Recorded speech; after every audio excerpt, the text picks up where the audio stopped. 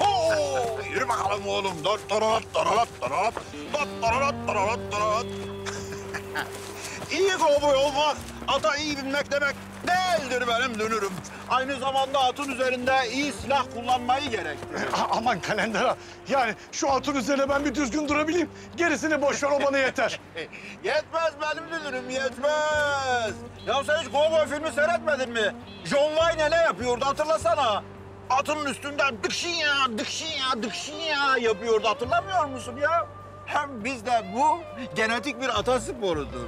Misal Osmanlı'da atın üstünde ok atarlardı. Hem cirit de öyle, öyle değil mi? Ne oluyor? İşte bu yabancılar hep bizi taklit ediyor, kıskanıyor. Alıyorlar bizim adetlerimizi gırpıp gırpıp yıldız yapıyorlar.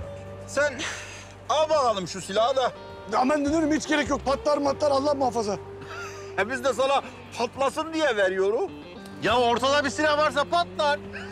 Tamam işte gerek yok kalsın istemem. Aa, o zaman bu tabanca ellerimden öper. Silahı ben elime alıyorum. Tıpkı John Wayne'nin yaptığı gibi bir hedef buluyorum. Mesela şu gozalak. Şöyle yapıyoruz.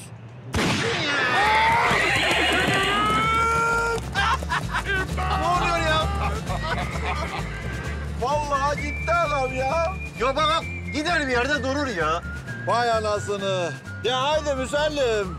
Gidip kızıl derililer yakalamadan dünürümüzü bulalım. Ya hadi. Tövbe yarabbi ya. Ya bizde delilik genetik ha. Tek deli ben değilim ki. Şu hale bak seni Allah. Hadi dert ödülüm de.